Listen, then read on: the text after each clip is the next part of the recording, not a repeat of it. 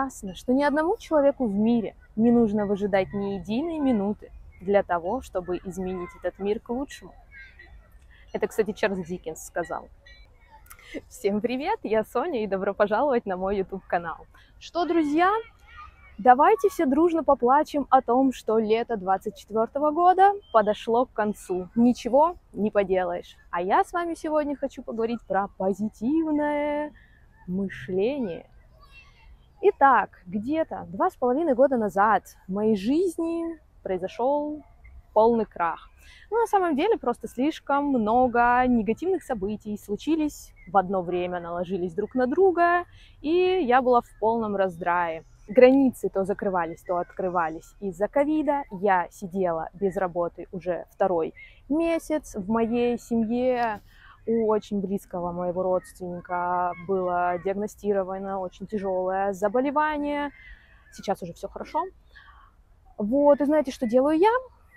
Я разбиваю свою тачку просто в хлам. Просто в хлам.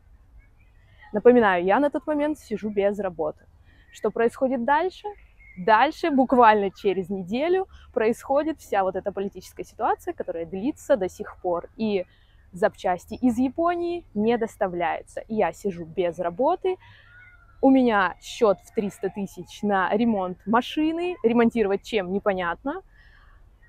Плюс э, я говорила о ситуации в моей семье. Я сижу полностью поникшая, без настроения, без э, тяги к чему-то, что изменит ситуацию.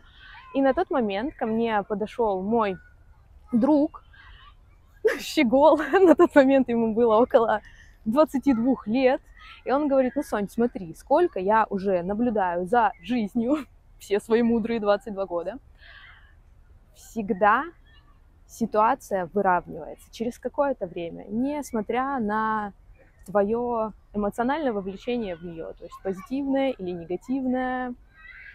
Через какой-то момент события выстраиваются таким образом, то что ты решаешь одно, первое, второе, третье. Ну, приблизительно так и случилось. Где-то месяца через три наконец-таки пришли мои запчасти, я заработала денег, плюс нашла работу за границей, улетела в Африку.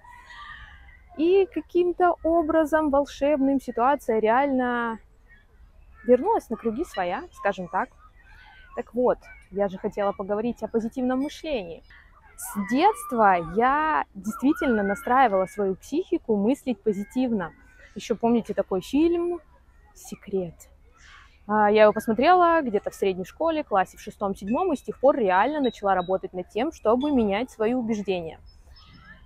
И действительно, мы опустим сейчас вопросы о том, что это шизотерика, магическое мышление и так далее не об этом сейчас речь. Речь о том, что твоя психика реально легче справляется с какими-то критическими ситуациями, с всевозможным стрессом, когда ты мыслишь позитивно. У меня есть два примера. Две моих бабушки.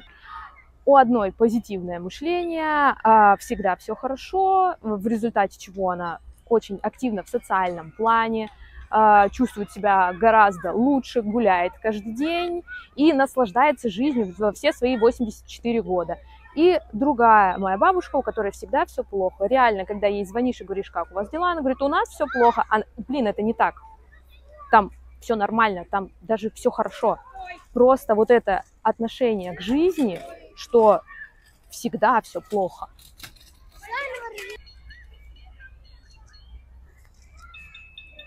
Давай троем.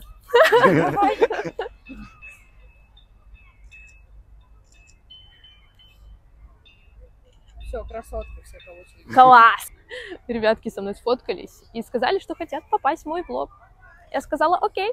Я хочу вспомнить э, один из своих любимых фильмов. Я его смотрела около, наверное, 20 раз. Это «Форест Гамп». И на днях я его пересматривала уже, наверное, раз 20 И только сейчас я заметила, что как раз-таки потому, что он имеет некоторую умственную отсталость, э, у него абсолютно нет сомнений его педаль тормоза отсутствует. Э, здесь, конечно, большая заслуга его матери, которая в нем воспитала такое отношение к жизни. А он поворачивал в сторону какой-то одной своей цели и не отступал. Он любил бегать, он бегал. А его позвали играть в футбол, пошел. В результате чего закончил колледж. Напомню про умственную отсталость. Пошел на войну. А там вообще не унывал, просто следовал приказам. Что ты должен делать в армии? Выполнять все ваши приказы, сержант.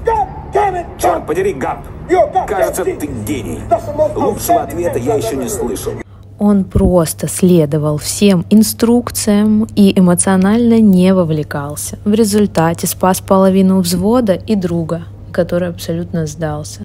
В госпитале от скуки увлекся настольным теннисом, в который погрузился с головой. В результате выиграл чемпионат, прославился и заработал кучу денег креветочный бизнес, настольный теннис, футбол. Просто если у него что-то не получалось, он не думал, ой, да, ну, наверное, это не для меня, да куда я лезу? Нет, он просто, он просто пытался еще. Пытался и пытался и пытался и пытался. Форест Гамп сосредоточен на процессе и просто делает свое дело. Он находится в фокусе. А успех — это совокупность однообразных, скучных, рутинных действий — пока все его друзья сомневаются и жалуются на несправедливость жизни, он проявляет решительность и постепенно реализует все их мечты. Так вот, вернемся к моим бабушкам. Они приблизительно одного возраста, соответственно, жили в одни и те же времена, пережили Советский Союз, перестройку, дефолт и так далее. Но разное отношение к жизни дало разную эмоциональную окраску этим ситуациям в моменте. Бесспорно, что наша жизнь насыщена всякими событиями, негативными и позитивными, но я честно рекомендую вам контролировать свой эмоциональный отклик, потому что это напрямую влияет на ваше состояние, на ваше здоровье. А если о своем теле не заботитесь вы, то о нем не позаботится никто. И я все же вам рекомендую пересмотреть еще раз фильм «Форест Гамп» а, с той точки зрения, которую сегодня осветила я. И желаю вам хорошего дня.